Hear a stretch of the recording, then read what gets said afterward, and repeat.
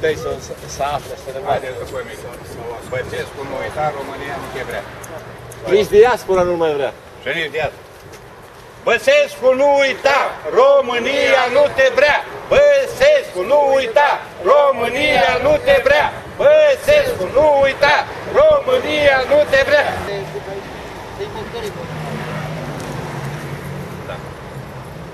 Deci asta la, a răzbate pe oameni în țară, nemulțumirea condițiilor celor 8 ani. Ceea ce vreau să spun asta la lumea. Domnul președinte, Pensiile Nu am mici, venit aici organizat de cineva. Am venit văzând ceea ce se întâmplă la te, pe televiziunile centrale. Văzând zvâlcorirea hidrei portocalii, în principal a capului ei, a șefului statului Traian Băsescu, am ieșit în stradă ca să le aducem aminte că nu am uitat nimic din ceea ce au făcut poporului român și nu vom uita niciodată. Ne-a vrut, ne vrut numai rău. continuăm de unde a rămas.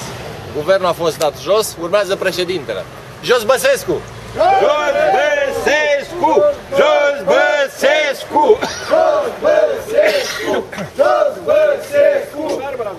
Dar ce asociație reprezintă? Uh, Asociația Română din Italia vă transmite un mesaj clar, nici diaspora nu mai vrea pe domnul președinte. Să se știe. Mesaj foarte clar, să nu se mai spune că a câștigat uh, președinția cu voturile din diaspora. Asta e scurt și concis și la obiect. Nemulțumirea plecărilor din țară, că sunt membru de onoare.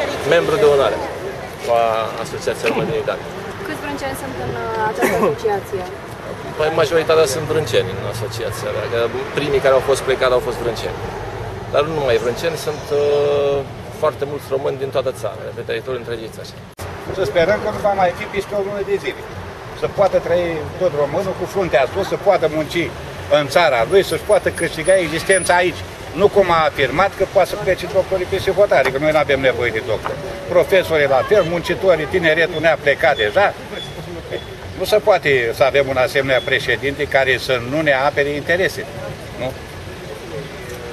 Deci, întrebarea pe care o pun eu, acest om a mințit din 2004 și îmi minte și în prezent. Pentru ce îl mai suportăm? Pentru ce? Ca să ne distrugă încă 2 ani în continuare?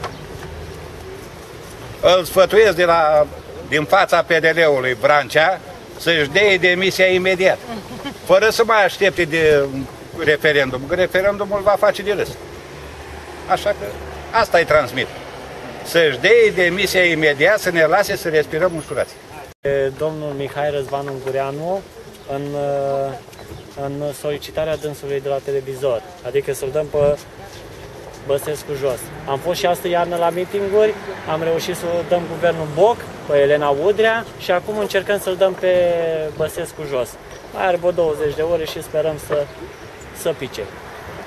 Sunteți tot de la Mișcarea Civică? Nu, sunt uh, un cetățean din municipiul Focșani, nu sunt afiliat la niciun partid politic, nicio mișcare. Pur și simplu am venit spontan.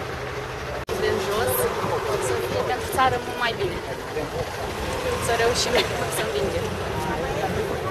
Ce-a făcut doamna? Culpăm prea mult la oameni.